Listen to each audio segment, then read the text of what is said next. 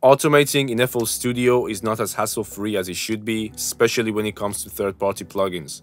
In this video, you're going to learn everything that you need to know about automations in FL Studio, and towards the end, I'm going to share some tips and tricks to help you save some time, speed up your workflow, and also prevent headaches. Let's go! First, let's get the basics out the way. When it comes to FL Studio stock, whether it's knobs, or sliders, mixer effects, or instruments, the process of creating automation clip is as simple as right-clicking on any parameter and create automation clip. So there are really no problems or confusion there. Any of the parameters that are FL Studio stock, you can right-click on and create automation clip, simple as that. However, when it comes to third-party plugins, it's a little bit more difficult. In order to automate any third-party plugin parameter, you need to turn on this icon up here left click or move that parameter. In this case, we want to do it on the mix knob of the Decapitator. Go back to that icon up there, right click, and then create automation clip. As you can see, we now have Decapitator on the snare channel, mix knob being automated. And it works the exact same way if you want to do it on an instrument. So let's say I want to automate this high EQ band on this synthesizer. I turn on the icon up there again, click and move that parameter, right click on that icon again and create automation clip.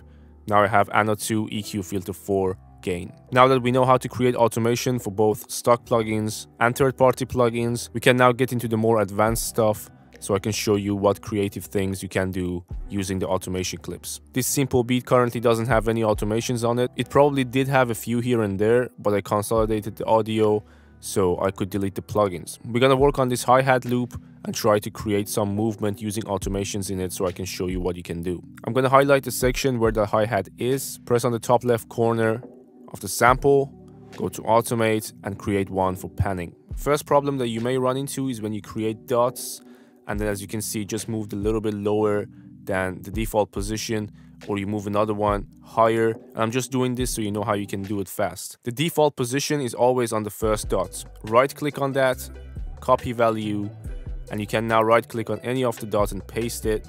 So now we know everything is back to normal where it was. That's how to fix a simple problem. Now if you double click on the automation itself, you will get this advanced window where you can do a lot more with your automations. Let's start with the LFO. You will get access to the five knobs down here that will allow you to create different shapes for your automation. Speed, self-explanatory, and you can see the visuals on the side. With tension, you can go from square to triangle and to really spiky shapes. Skew, I don't even know how to explain that, but you can see what it does. It's called skew, and I don't know what that word means, honestly. Width is self-explanatory, and in the case of panning, if you put it on the full amount, you will go from hard left to hard right, and if you put less, you go from 70% to 70% depending on how much amount you set.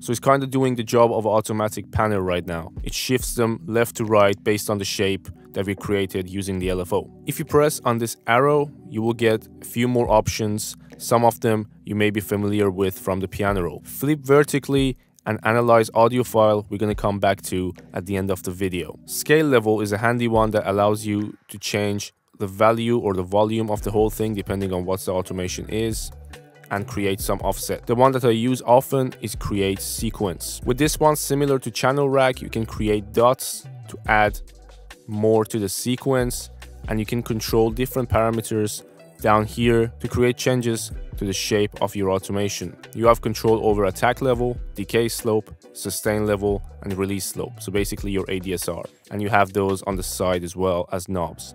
Or you can mess with the time mul to change the timing of the automation, you can see what it does visually. You also have the option to randomize or humanize each category. Let's say I really like what I've done with this automation. Now I want to use the same pattern, same automation for another sound or another parameter. If you press on this plus icon next to target links, you get this pop-up window that says tweak the parameters you want to link to that automation. When you are done, click the plus button again.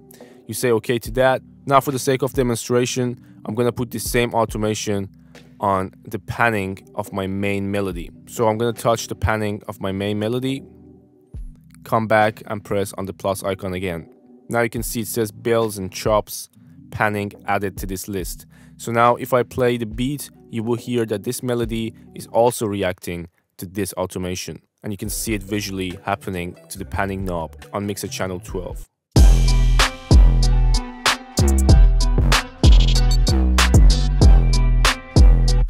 And you can keep adding more to this list if you want to. If you want to delete one, choose it in the list and press on the cross icon say yes, and it's gone. Before we move on from this subject, I want to show you another thing that you can do without opening the automation itself.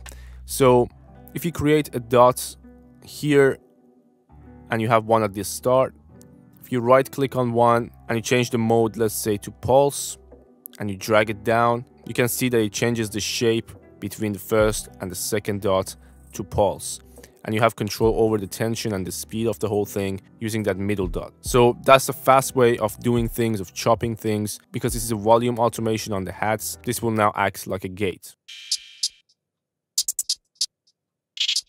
as if almost you use a Gross Beat pattern. So that's possible if you want to go the fast route. Now let's move on to a problem that used to give me headaches and I finally found a way to fix it a while ago. A lot of you may be familiar with this plugin, it's the Kontakt Sampler, and within this you can use different libraries, but the problem within FL Studio is that you cannot right click on the mod wheel and create automation clip. And you can't even right click on the mod wheel within the library and create automation clip. You might say that's obvious, it's a third party plugin, why would you be able to do that? But even if you go up here and try to do the third party method, turn that on, move the mod wheel, you still aren't able to create automation clip for that. The fix I'm going to show you for this has multiple other benefits that I will try to demonstrate along the way. First, within Kontakt, go up here, press on the wrench icon, go to the second tab and set your input port to 1. In your channel rack, press the plus button, create a MIDI out. This is a stock FL Studio plugin that everybody should have. In here, you want to set the port number to whatever you set your Kontakt. We set it to 1, so port number 1. Now if you press on this wrench icon beside any knob, you get this page. And here you can name it, so let's say mod wheel, short name mod, and it asks you for the CC number. You have other options as well, but what you're gonna mainly need is the CC number. In case you get confused about the CC numbers, all you have to do is to Google it and say I add modulation wheel to the end of that. It tells me that MIDI CC number one is modulation wheel. So if we set this to number 1, the range is from 0 to 127, minimum to maximum. You press accept. Now this is your modulation wheel. I'm just to put one note in the piano roll. If I play that and control this knob,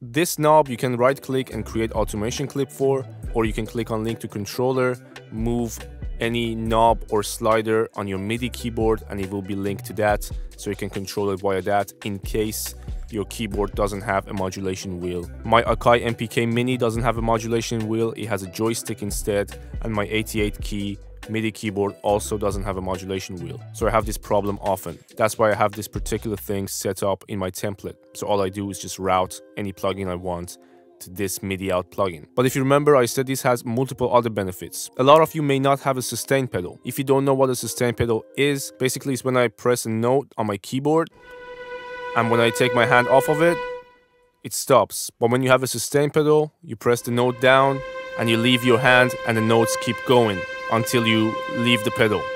It's great for adding some humanization into your piano melodies or when you're playing live for strings you want to hold out chords and you want to switch hands and switch fingers, it has a lot of cases where you can use a sustain pedal. If you don't have that, here's the only way that you can replicate that in FL Studio and automate it. Sustain pedal also has a CC number. It's uh, 64 if I remember correctly. Yeah, MIDI CC64. We create another one, we call it sus pedal. We set the number for CC to 64 0 to 127 again. Whenever this knob is on 0, you have no sustain pedal, and when it's on 127, the sustain pedal is engaged. Now again, you can automate this or link it to a controller. If you have a short slider, that would be great. You can just put it up fast and down fast and you get sustain pedal or not. You could also do expression. Expression is CC11. It's mainly about volume compared to dynamics. Modulation wheel usually is routed to orchestra plugins dynamics. Expression kinda reacts like volume. If you wanna hear it, have a listen.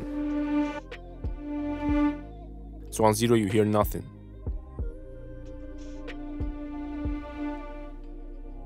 It's just another way of adding realism. You also have CCs for vibrato, for breath control, for multiple, multiple other things. So get familiar with this plugin, it has great uses. The problem with Kontakt is now solved. If I remember correctly, the same problem applies to Omnisphere and a couple other plugins that don't allow you to automate the modulation wheel. Now let's talk about something that you can do with automation to replicate sidechaining your reverb or delay or any other effect to your vocals. I'm gonna use this sample to demonstrate. I just send my sample to a mixer channel and then send that to a reverb. Now I'm gonna right click on the fader of my reverb and create automation clip. From here, you double click to open the automation, you press on this little arrow, and if you remember, I said we're gonna come back to analyze audio file. Press on that. Here you want to choose your vocal. If it's your own vocal, find it and select it if it's a sample, find that and select that. For me, it's this one. Double click on it, it's gonna analyze it. When it's done analyzing, you can see that it replicates what was happening with the vocal. So at the start, there was a silence, now there's a silence there, and as soon as the vocal comes in, you can see that happening. So it replicates the audio file you give it to analyze. From here, you want to click on that arrow again, and flip it vertically. So we want the exact opposite. When there are gaps and empty spaces in the vocal, we want our reverb volume to be high and when the vocal is singing, we want it to be low. You probably need some adjustments from here to get the exact thing that you want. Open scale levels to make sure that your reverb is not too loud. And now let's listen to what we've got.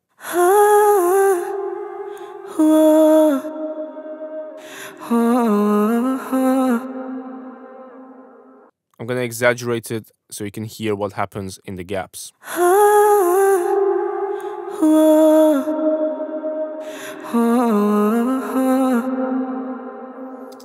In some scenarios, this works great, and in some scenarios, it just doesn't. So it's a tool that you have available. It's great to know how to use it, but when you use it and when not, that's up to you. The final tip of this video that greatly improved my workflow, and I'm sure it's gonna do the same for you, is this, and it's super simple. If you hold A on your typing keyboard and right click on any of these parameters, it creates an automation clip for it. I just right click on the panning knob of channel 7 and that's what we got. I'm gonna hold A again and right click on the fader of my ping pong delay. It's gonna create one for that. And it works the same in channel rack and even in stock plugins.